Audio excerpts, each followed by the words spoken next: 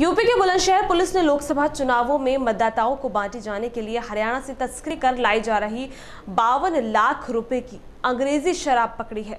शराब के साथ दो शराब तस्करों को भी गिरफ़्तार किया है। शराब तस्कर डंपर में छुपाकर बुलंदशहर लाए थे लेकिन चुनाव में मतदाताओं को रिझाने के लिए शराब बांटी जाती उससे पहले ही ये तस्कर पुलिस के हत्थे चढ़ गए।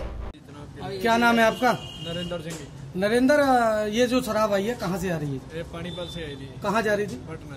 तो क्या चुन, किस किस नेता के उसमें जा रही थी? ये हमें नहीं मालूम। चुनाव के लिए आई थी चुनाव के लिए? ये हमें नहीं मालूम चुनाव के लिए ही आई। नहीं तो किसके संपर्क में थे आप जो थे? हमें वो उधर ही आदमी मिला था मुन्ना। अच्छा। अरे बताओ कहाँ से लेकर आ रहे थे हम सब? पानीपत से। और कहाँ ले जा रहे थे? पटना मतलब यूपी में नहीं? नहीं नहीं यूपी में पटना सर कोतवाली सिटी पुलिस ने शराब तस्कर पकड़े हैं सर। कितनी शराब बरामद हुई है, सर? और कहाँ लेकर जा रहे थे, सर ये? आज प्रातः एक महत्वपूर्ण सूचना के आधार पर कोतवाली नगर पुलिस ने चेकिंग की और चेकिंग के परिणाम स्वरूप एक डंपर जिसमें करीब 578 पेटी विदेशी शराब बल्लियों से ढक करके ले जाई जा रही थी, बरामद किया गया है।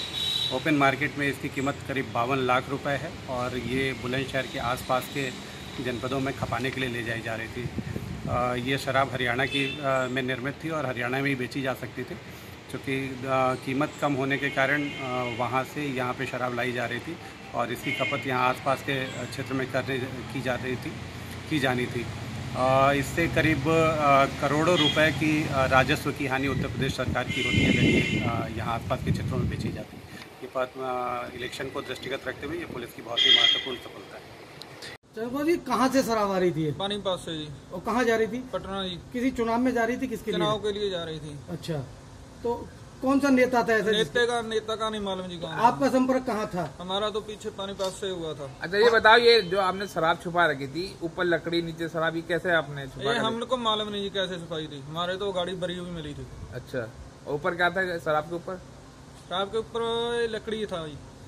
चकमा देने के लिए पुलिस को? जी। तो आपको क्या बताया था कि ये तरफ़ कहाँ पहुँचानी है?